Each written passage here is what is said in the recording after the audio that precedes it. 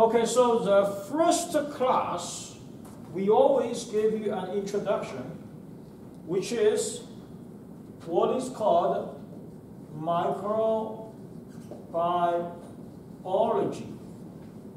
And uh, microbiology, same as your biology, I will say this is equal the science of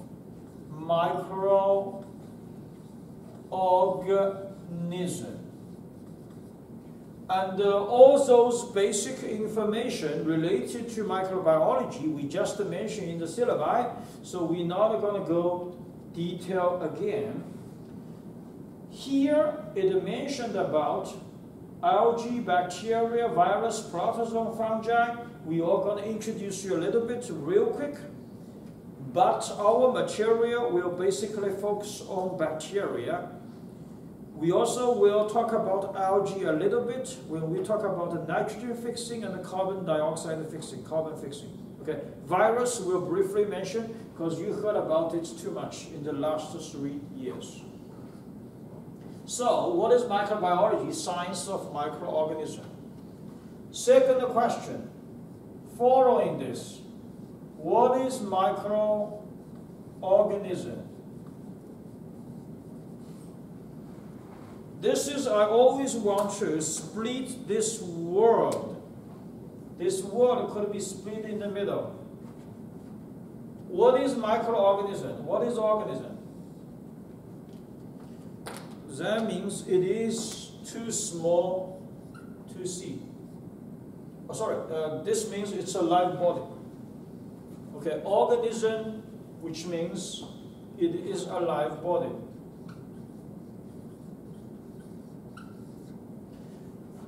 What is micro means? This means it is too small to see. How small it is? Usually less than one millimeter. Um, a couple of hundred nanometer sometimes. Because it is too small to see. So later on, we will talk about it. They need a tool, which is called a microscope. And we will introduce you, talk about light microscope,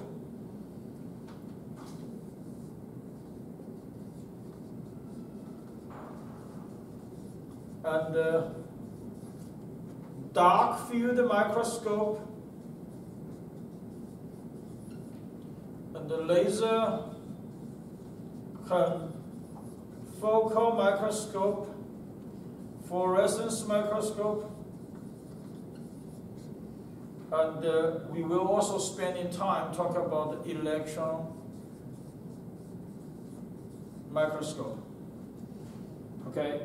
And uh, we will have a lab section to practice using light field microscope. So that's a microscope, a microscope we need to rely on to do the microorganism. Now, what type of the microorganisms are there in the world? So the first question I want to ask you, can you guess how many microorganisms there? It's huge. Roughly more than 10 the power of 30s. Huge. And how many of them we know? Less than 5%. Which means more than 95% of microorganisms are unknown. And we know only a little bit because it is too many. This is a very normal stuff the coronavirus happened, nobody know what to do at the beginning.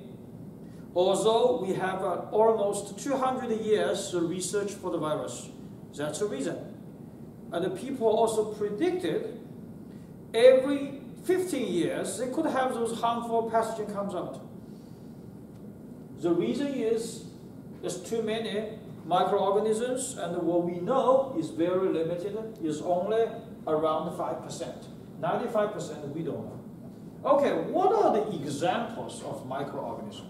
So let's give you some of the examples. Some of them you know, some of them you don't know. Okay, let's do. Um, we will be separate them into different categories. The first one everybody knows is bacteria.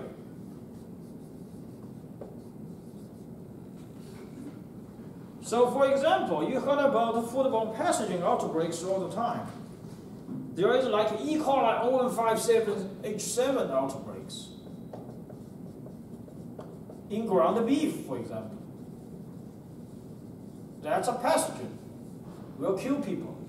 That's bacteria. You heard about salmonella in egg products or chicken meat. Those are the examples of bacteria. Very common. And I always make a joke. I said, even if you do not learn anything, after this semester, you will never forget a bacteria is E. coli. Regardless, you get A, B, C, D in this class. Okay, so that's bacteria. The second thing is fungi. You heard about fungi all the time. There is a two different categories of fungi. The first one is molds, and second one is yeast. How we differentiate that? The growing temperature. Molds usually at room temperature 25 degrees Celsius, yeast 35 degrees Celsius, and a little bit in the humidified environments. So how do we know there's a mold? You have a bread, you bite, and then you put in the door, the bench for like 10 days, you see started showing greenish color. That's mold. How do we know the yeast? Some day have a heavy rain, and then you see the top ceiling, there's dripping of the water. And a couple of days later, you see the blackish color there or brownish color there, especially your water bus. That's yeast. Okay, so that's fungi. What else is a bacteria? Or what else is a microorganism? Parasite. Okay, so you can see here, we call it a uh, protist, but we can say it's a parasite. So protist. Protists have a several categories. Protozoan, let's say Toxoplasma gondii. Pregnant women should not recommend to have a cat because Toxoplasma is the middle host in the inter, intermediate, inter, uh, the host is a cat. So they will cause miscarriage. So you'd better not have a, a, a cat uh, if you're pregnant, being pregnant protozoan. Algae. This is something really magic. This is created more than 80% of the oxygen in the world because they are going photosynthetic which means they are not similar to the bacteria. Bacteria use glucose to grow. They are using light as their energy resource. And with the sunshine. So that's photosynthetic, is algae. Another example is slime molds. Slime molds has two different growth phase. One of them looks like molds is phase one, and the phase two is like protozoan. So what's the characteristics of a protozoan? Protozoan, they need a host. Without a host, it's very difficult for them to survive. Okay, so that's uh, protist. What's the next one? Archaea. Archaea, how you understand that? You will be saying, we always saying this is an older bacteria. You can understand that this does not develop very well.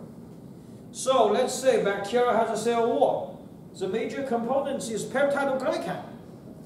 And we don't have a real peptidoglycan, we have a pseudopeptidoglycan. And the bacteria grow, they're moving, they're using flagella, and uh, archaea using endoflagella. So that's some of the examples for the archaea. Okay, all these things we talk about is using cell as a single units. So that's why we call these cellular. Because they're using cell as a single unit. How about the others? This is what we talked about. There is other things we haven't talked. Last three years, what you suffered? Virus. Is that right? Coronavirus. COVID 19. COVID 19. Okay.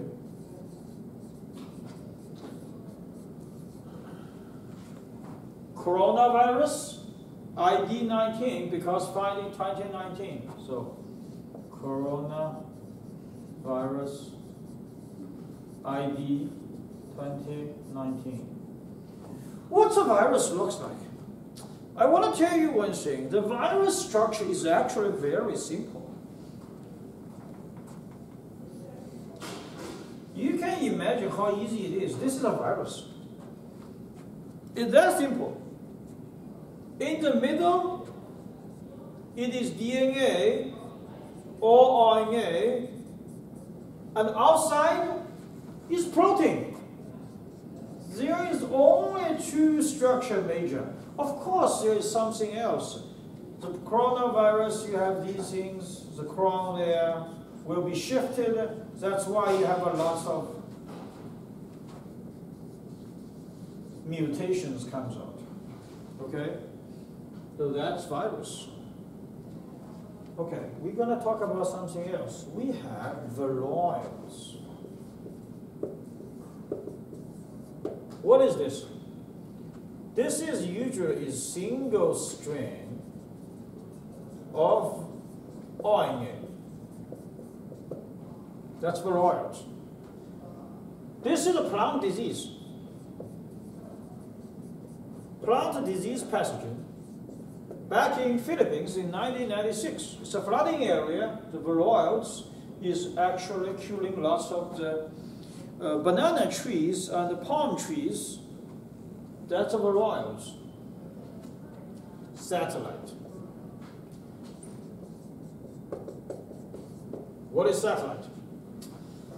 We talk about a virus. It has a protein and has genetic information, DNA and RNA satellite is the DNA or RNA is integrated into protein. But I want to tell you one thing. I've been doing microbiology research for 20 years. I never heard about that. We're never doing that. It's just relatively new. Satellite. What the other one? Prions. So we say a virus have DNA or RNA as a genetic information and has a protein there. How about I only have protein? Yeah. If you only have protein, there's still going to be toxication. It will cause mad cow disease.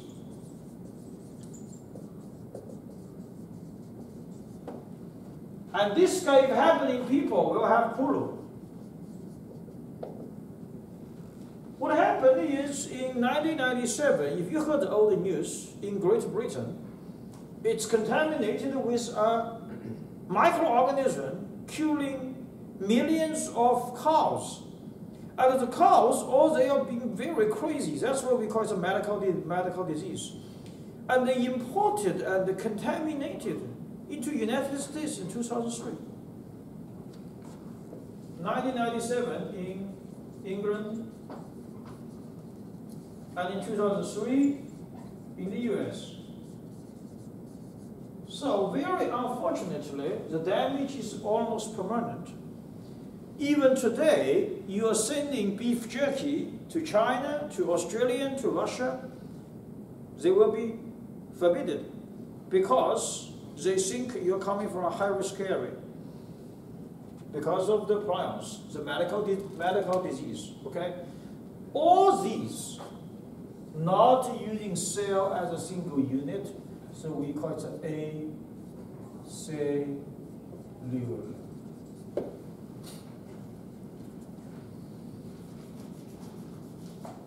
So here is gives you an overview. What are the types of the bacteria we have? What are they? Next one. We know that bacteria is always bad. We just say, okay, you touch the bacteria, you're to get sick. Yes.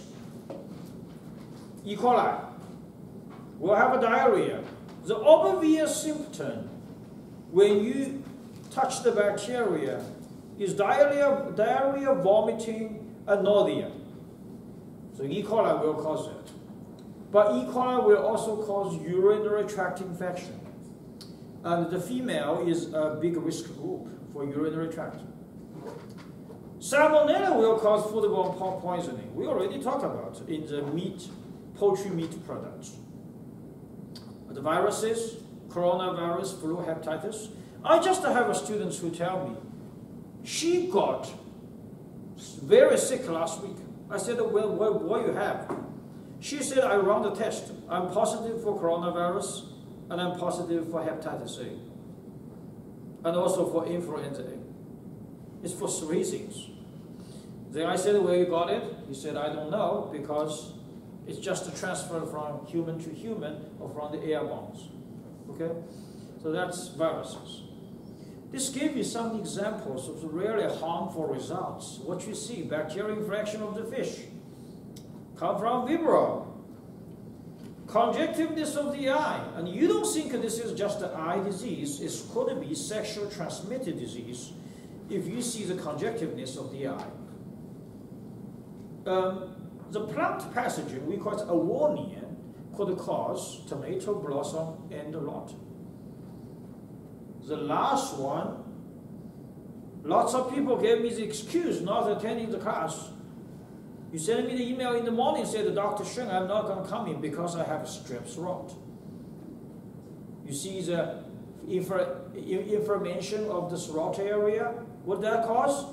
Streptococcus pyogenes. In our exam two, when we talk about the pathogen cause human disease, we will talk about streptococcus. That's a very good example. But very fortunate. Not always bad, the bacteria. Sometimes really good. Do you like beer? Everybody likes beer. There is two major parts of the beer. What are they? Yes, yeast is one of them. Ale and uh, lager.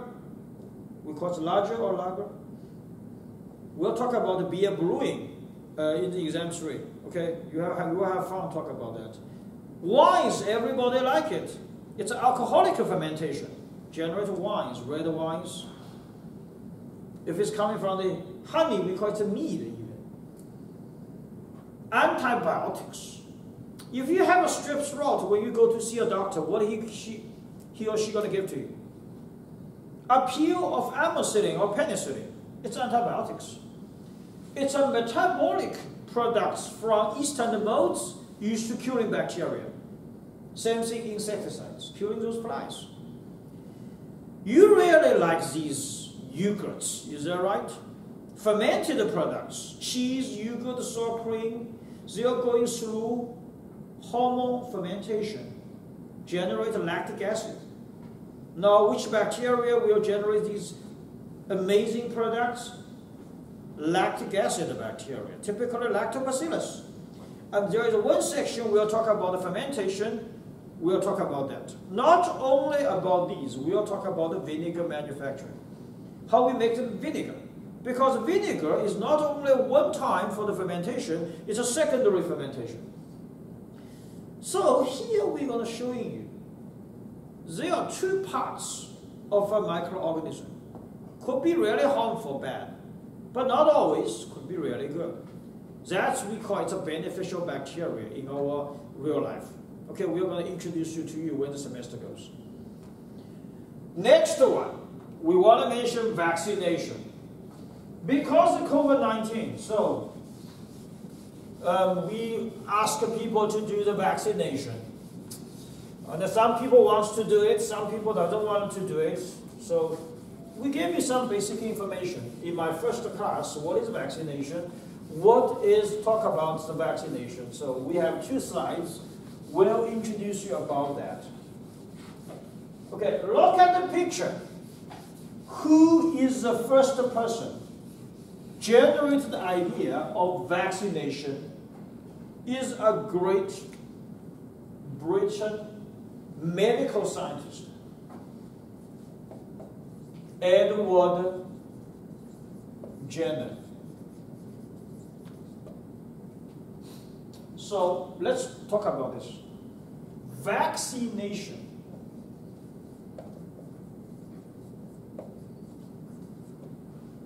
What does world care come from?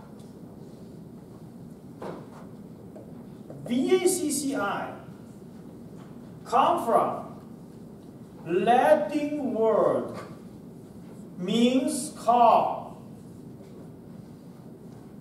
So what happened? Back in about 18th century in Great Britain, they suffered from a big disease. is called smallpox. Smallpox will be causing the damage of the bone marrow so you basically lose your immunity. A died a hundred thousands of people died every year. But what is interesting is that when Edward Jenner find there is a group of people is naturally kind of like naturally immune to smallpox, which is called. The woman working in the dairy farm what do he find? He finds those women, the arm area has a lesion. The lesion is coming from a mild symptom called cowpox. The cowpox is just cause some itching or a little bit uncomfortable, not going to be kill you. So he connected the lesion, gets extract, and then injected with this baby in a loyal community. And he also contaminated with this person about smallpox virus. And luckily, this baby is survived. And this is the first time in the history which is recorded people successfully using vaccination, using vaccine in order to get credits and memorize Edward Jenner, we have this word comes out, is called vaccination. This is what it comes. What is vaccination? Vaccination is to basically is inject or contaminated a live body that could be human being or animal with a tiny dose of toxin. Then your body will have some reaction. So, stimulate antigen antibody reaction and will generate a protection material is called antibody.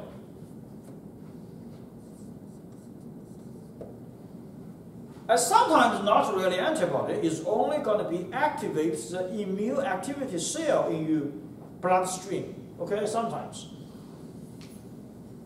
Because it stimulates an antigen antibody reaction. Whatever it is a small toxin. So, most of you have experiences when you have a shots of the vaccination you have a light fever. You have sometimes you have a vomiting sometimes. Sometimes you uncomfortable the muscle itching and the um, acid muscle for like a couple of days.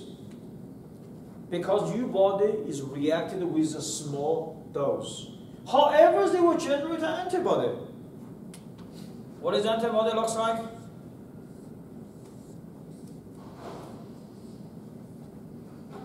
Is that right?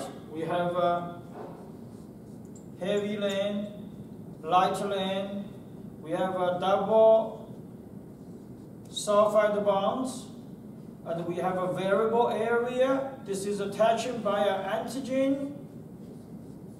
And we have a longer piece here is FC tab.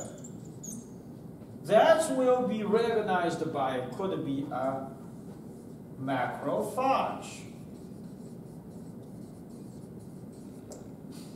So that's what it is, what it works. Okay. When you go to see a doctor, your doctor said, go have, go ahead have flu vaccination. What is this called?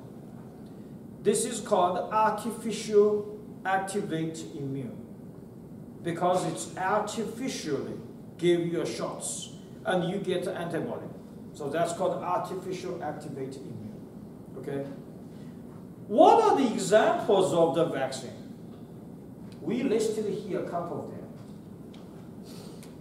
That could be killed microorganism, which means they're already dead. Give example. Polio. Polio, if you remember when you were young, you have a pill which is like a candy. Sugar pill, just eat, eat, eat it. And I remember when my son was one years old, he had a pill of polio, he had a vomiting like two days. So we sent him to the uh, Pittsburgh Hospital, Children's Hospital to see it. So the doctor had the first question to me, did, did he have any vaccination? I, remember we just had a polio, okay? It's a acute microbes, which means the bacteria is dead. However, it still have an immune capability. You can easily understand the toxication is still there. Okay, second one. Attenuated microorganism. MMR is an example. What means attenuated? It is a live cell. Be careful about that. Attenuated microbes generate a vaccine, a vaccine. It's a live cell. A good example is MMR. What is MMR? Mumps, measles, and rubella. This is required by every immigrant go to the United States. So I remember when in 2006 uh, summer, I came to um, Colorado State University, the university for my PhD study, they require me to show them uh, documents, I get a shots of MMR. But you only need a one shot for your lifetime. And I'll talk to you real quick why it is. Okay? Purify the antigen, the next one, is purified and antigen. What means purify the antigen?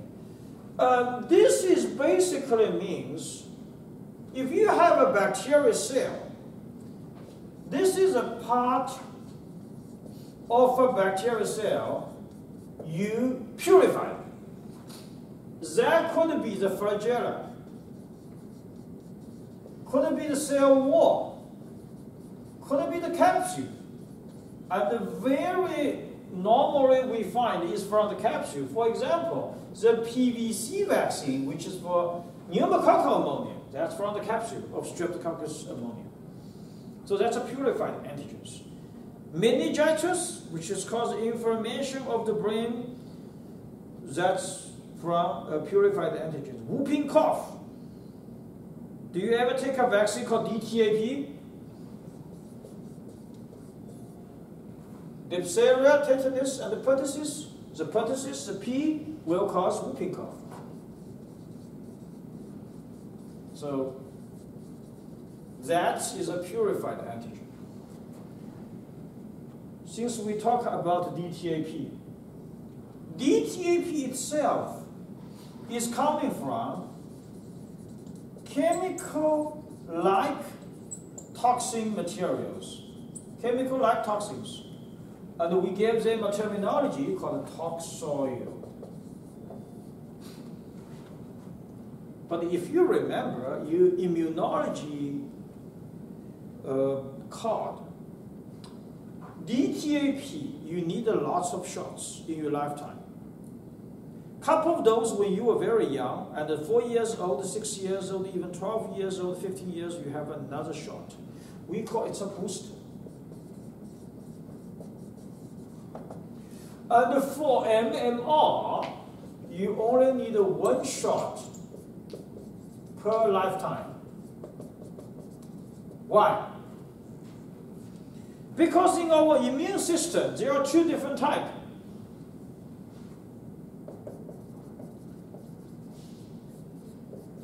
B cell line and T cell line.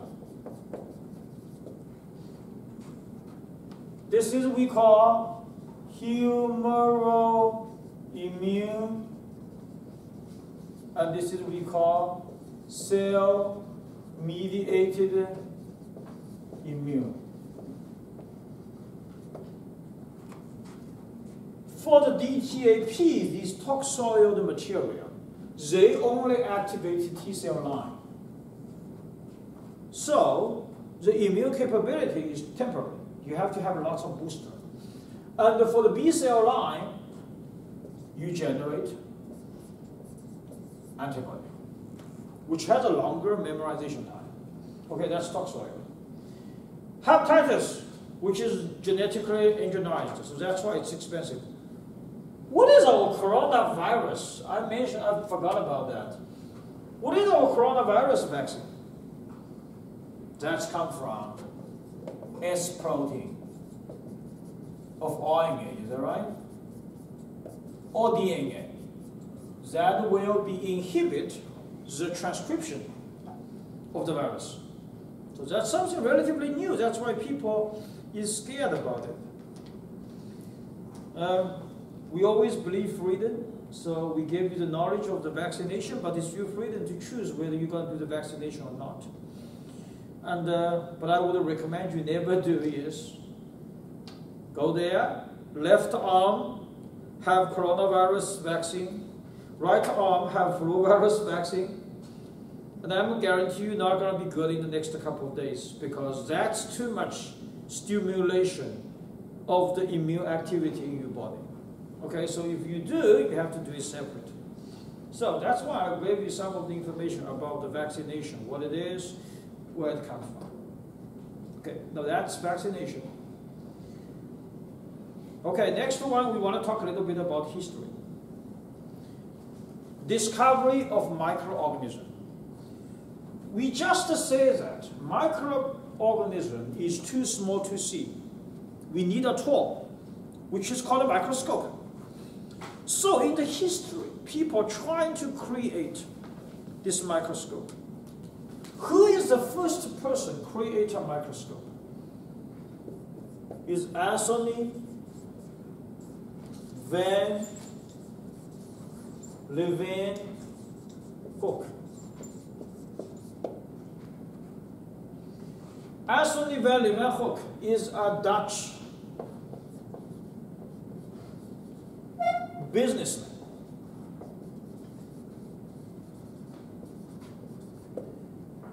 Main, main life is to selling clothes, commercial stuff to the other people and earn the money.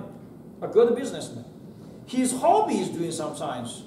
So he liked to make making those microscopes to do the observation of microorganism. And he created this mechanic microscope. So you see the holder, you see the lens, you see the, um, uh, we call it a focus. And then also he recorded. It's very interesting. You see these recorded? These bacteria like this, something like that. Because he recorded that, so we gave all the credibility to him. He is the first person using his mechanical microscope to find the microorganism and record it accurately. And later on, people find these actually are not really bacteria. These are bacteria, flagella, and moving some action. Okay? Now, we talk about a microorganism is too small to see. So every microscope needs to be kind of have some of the enlargements, which is called a magnification, to make sure those two tiny uh, particles can be seen. So what is the magnification of those mechanical microscope? Antony van Leeuwenhoek's mechanical microscope, the magnification is not very strong. It's only 200. What's the magnification of the microscope we use in the lab? It's usually 1000. Of course, with oil immersion. Okay, we will talk about next week or maybe Thursday. What is oil immersion? What's the function for that? Uh, but anyway, we gave the credits for him. However, there are some criticism for him. He created a microscope but he refused to sell them to the scientific area. That's the reason the development of the microscope, of, of, of the microbiology, has been delayed for more than 150 years. So later on, when we talk about Louis Pasteur and Bob Koch, can you see this is 19th century. This is close to 20th century. Where's Antony van Leeuwenhoek? 17th, 18th century. There's about 150 years delay because he refused to send his microscope to public, to the scientific area. So there are some of the criticize for, for him about that. Okay? So, so that's what we have for this discovery of the microorganism. Okay, next what we want to talk about is Louis Pasteur.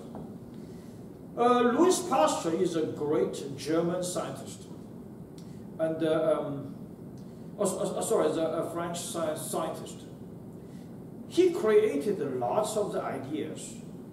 But the most important stuff is this swan neck, we call it a swan neck uh, bottle which is using to verify the discredit, dis, discredits spontaneous reaction in a microbiology level.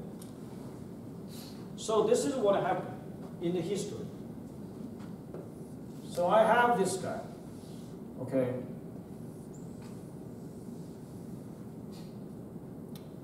I have a hot pot, let's just say. I'm going to put some of the um, in.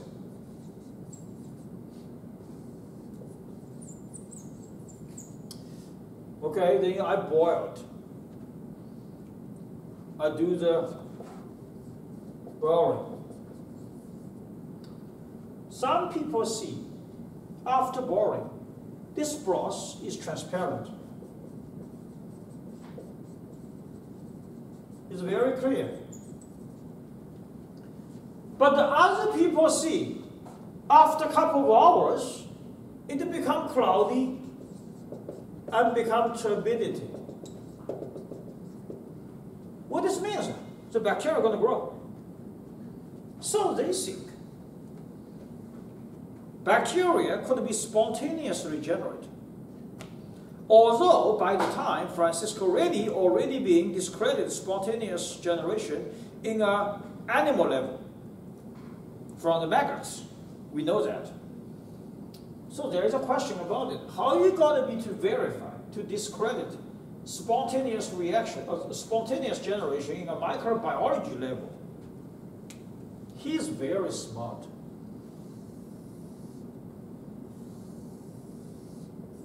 He did this. Okay, of course you need a control group.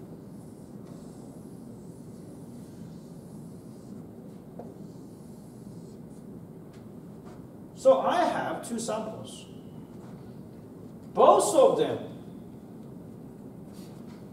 I have a broth, and I broil.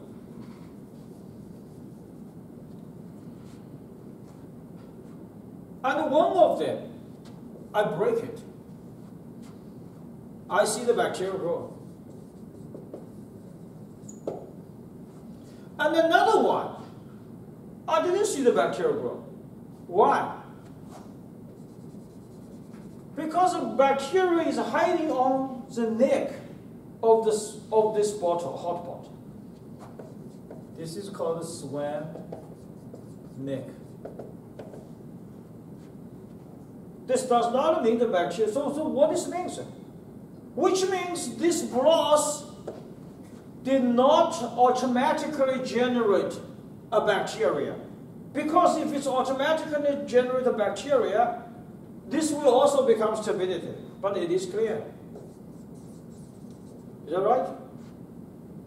That tells you where the bacteria comes from. The bacteria originated from the air. Because when you break, it goes down.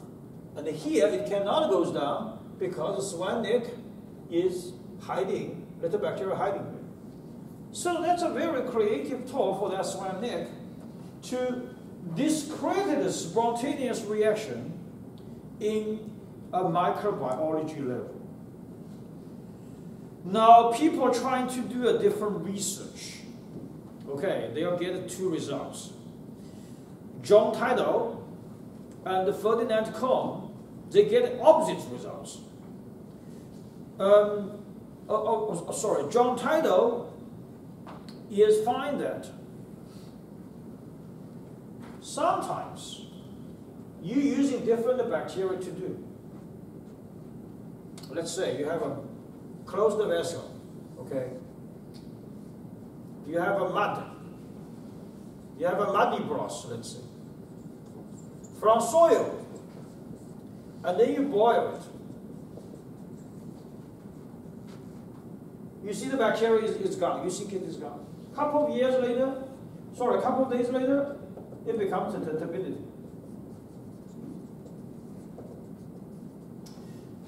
So because it's a closed vessel, so they think this bacteria coming from the broth. But I tell you why, but I tell you no. But how are you going to argue about that? Because these type of the bacteria is originally there. The reason there could be heat resistant. Okay, their DNA structure has been changed to become heat resistant. There are some of the heat stress protein is activated. But more important, why give the example from the soil? They could have endospore Is that right? They could have endospore, and the endospore you're using boring methods not going to be kill them. That's the reason we need to have autoclave. We need to have a high pressure cooker. Because the high pressure needs to be killed them. Otherwise, you just use boron, you're still going to be survived there.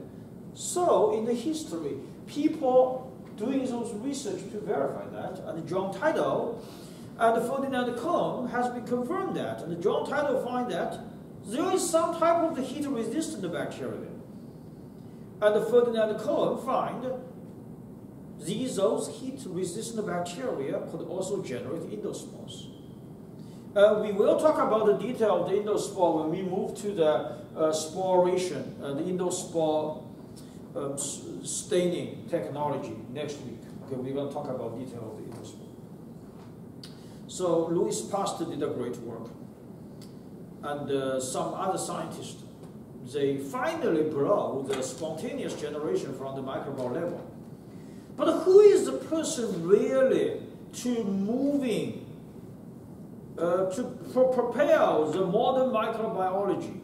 It is Robert Koch. And we have to um, recognize that. It is a great German scientist. And he mentioned about the Koch postulate. He generated a pure culture, and this we will talk about on Thursday. Okay? So that's all I have today.